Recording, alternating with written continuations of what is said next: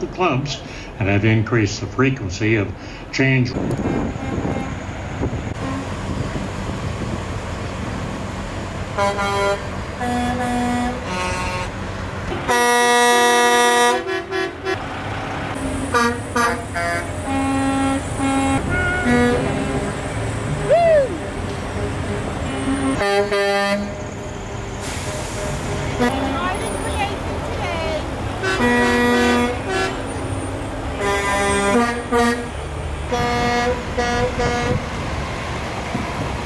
감사합니다.